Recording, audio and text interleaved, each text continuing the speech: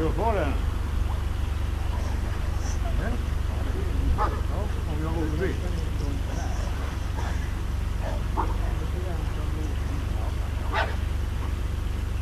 Thank you.